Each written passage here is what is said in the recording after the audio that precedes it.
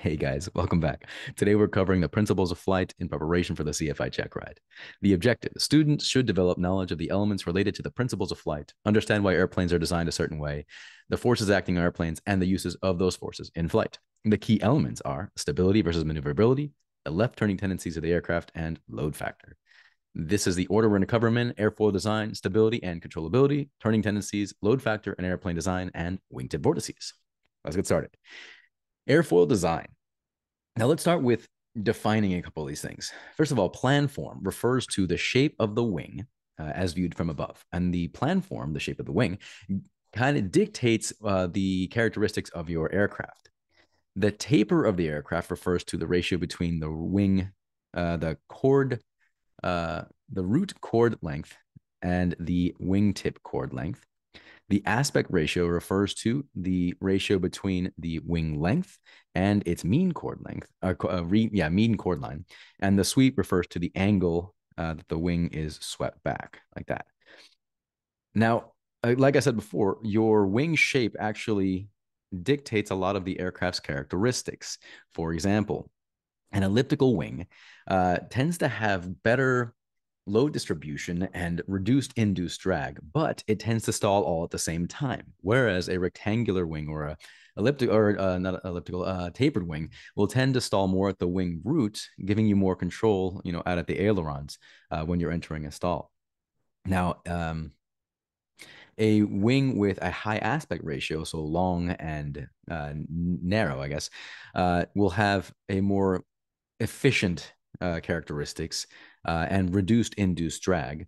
Uh, but a wing like a swept-back wing like this is going to be better for supersonic flight or really, really fast flying. So again, the shape of your wing dictates a lot of the characteristics of your aircraft. Uh, so depending on what you need to do, you can have different shape. Move on, on, moving on to stability and controllability and maneuverability. Now, stability just refers to how stable an aircraft is, whether it wants to uh, you know stay where you put it or whether it's going to divert and uh, if you nudge it and it goes crazy. Now controllability is how well it responds to your control inputs uh, if you have to muscle it really hard or if it's you know super easy to move around. And then maneuverability is the ability to maneuver uh, and you know perform. And it's based a lot on the structural strength of the aircraft uh, and the size of its control surfaces. Now let's talk about static and dynamic stability Static stability refers to uh, the initial desire of the aircraft to, you know, return to stable flight uh, if you nudge it. So, for example, if you're flying along and you hit the stick uh, and it kind of oscillates and then settles back to where you originally had it, that is a, a static or a that is a stable aircraft and has positive static stability. Now, if an aircraft is flying along, you nudge the stick and it oscillates a little, and then it settles in the new position like this. That is a uh, that is neutral static stability. And if you nudge the stick and it diverges, it actually gets worse and then diverts, um, you know, controlled flight. That is negative static stability. Of course, we want positive static stability. We want our aircraft to be stable. Uh, Static stability compared to dynamic stability refers to what initially wants to do, while dynamic stability refers to what it wants to do over time. So, over a longer time horizon, what does the aircraft want to do? Does it want to return to where you put it, or does it want to diverge?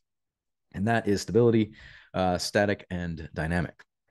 Now, longitudinal stability is dictated mostly by three things the center of gravity, where the center of gravity is, the center of lift, and uh, the downward force uh, produced by the tail.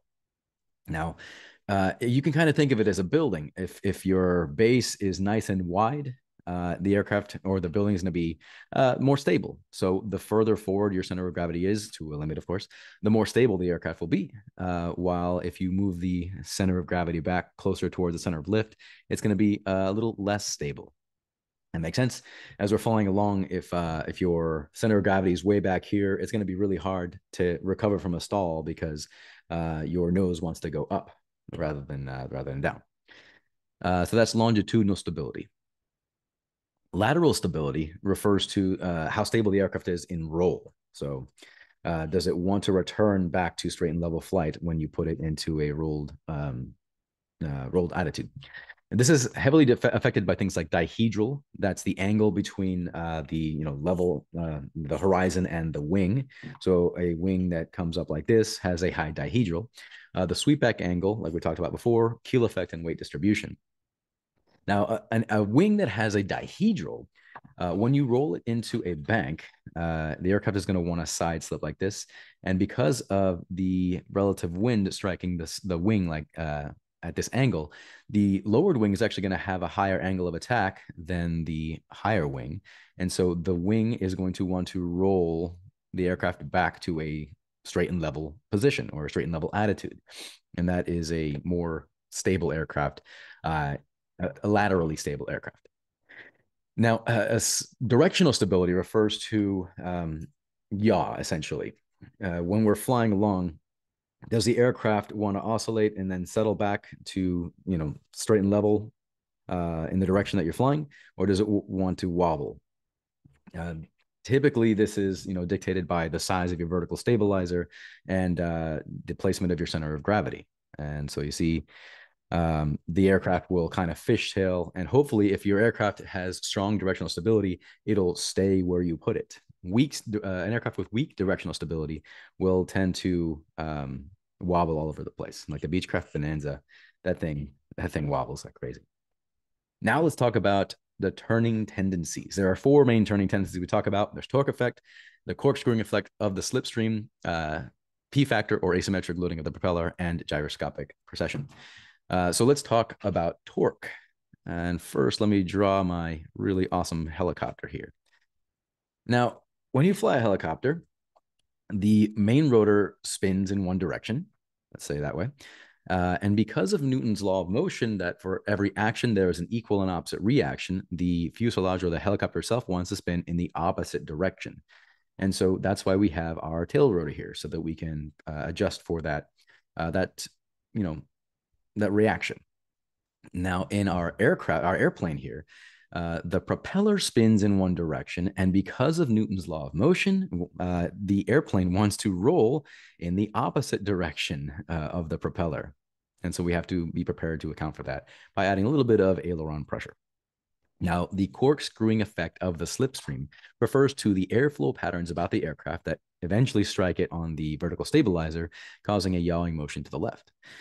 That yawing motion to the left makes us need to put in a little bit of right rudder. So if you hear your flight instructor yelling at you, right, right rudder, right rudder, that is one of the reasons why. And so, bam, that's that.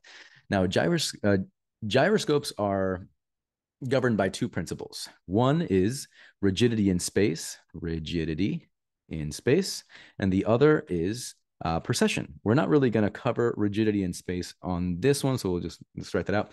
But precession, if you have a spinning gyroscope and you apply a force at the center, you know, upward like this, the effective force that what you're what the gyroscope basically thinks you're doing is pushing here at the rim, at the top of the rim. Now, because of precession, the resultant force, where it actually feels it, is going to be 90 degrees away from where that effective force was. So when you push up or push on the top of that gyroscope, you're going to get a yawing motion uh, to the left. And the uh, our propeller is essentially a gyroscope. So if you have uh, a nose down attitude, you're going to feel it 90 degrees away from where the effective force is, causing a yawing motion. And then finally, there's P factor, which is asymmetric loading of the propeller. When you are straight and level, the angle of attack of the propeller on the right and left side of the propeller disc is going to be the same. However, if you have a nose high attitude, high angle of attack, the one propeller, the propeller descending, is going to take a bigger chunk of air uh, than the ascending propeller. And because of that, it's going to generate more thrust. So there's more thrust being generated on the right side of the propeller disc than there is on the left side of the propeller disc. And because that asymmetric thrust, you're going to have a bit of a yawing motion to the left. And that is P factor or asymmetric loading of the propeller. Moving on to load factor. Load factor, or we call them G's, uh, are is the ratio of the load the aircraft feels uh, to its weight. And if you've ever been an F-16, you know, yanking and banking, or you've seen Top Gun when they're like being pulled down into their seat, that is load factor. And here is a chart that shows you the the relationship between the angle of bank in in level flight, not climbing or descending, the angle of bank and load factor. And you see the steeper your angle of bank, the greater your load factor is. When you are at a 60 degree angle of a bank, uh, you're going to have a load factor of two.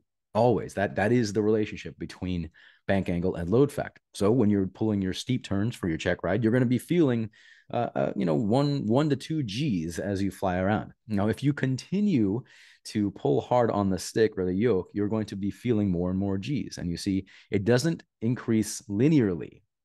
So be aware of that. You know, the steeper your bank angle, the higher the G factor. And along with that, uh, the more G's you put on the aircraft, the sooner or the faster your stall speed will be. For example, at you know zero degrees angle of bank, uh, your percentage of increase in, in stall speed is going to be zero. If you are at a 60 degree angle of bank, you're experiencing two G's and the aircraft is feeling two G's. So it's going to stall 40% higher than its uh, straight and level stall speed. And again, it increases non-linearly. So be aware that the steeper your turn, the higher your stall speed will be. The sooner your aircraft will stall um, compared to straight and level flight. Okay, now moving on this is your airspeed versus G chart. move this over here.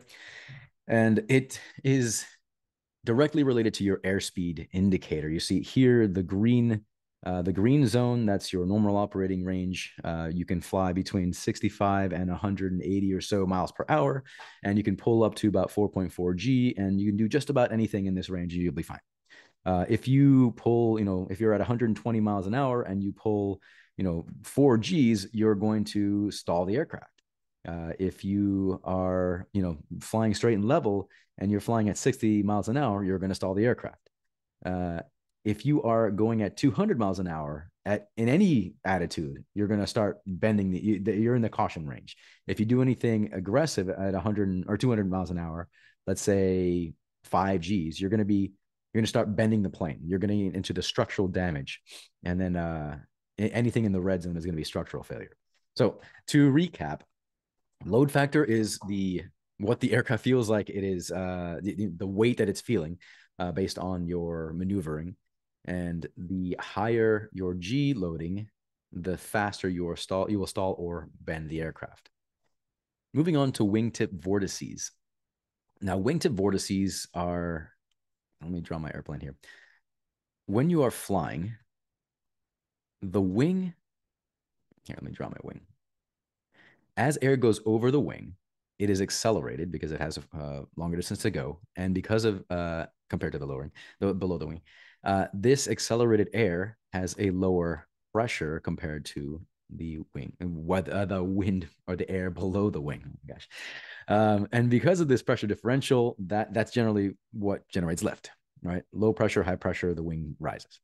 Now, because of that high pressure below the wing, the wind, the air wants to come around the wingtip and curl, you know, it wants to go from high pressure to low pressure. So it's going to curl around your wingtip, generating these vor- this vortex or these vortices. Uh, and in general, we want to avoid flying into another aircraft's wingtip vortices because uh, you know heavier aircraft can roll smaller aircraft like our Cessna 172. Uh, so we want to be careful. And the way we avoid wingtip vortices are by flying above upwind, waiting three minutes behind departing or arriving heavies, and um, just, just generally avoiding their wake turbulence or their wingtip vortices because they, they can you know get us into some trouble. All right. Uh, in conclusion, we covered stability versus maneuverability, left turning tendencies, load factor, airfoil design, stability, controllability, turning tendencies, load factor, and wingtip vortices. If you have any questions, if I missed anything, let me know down in the comments. And thanks for watching, guys. See you.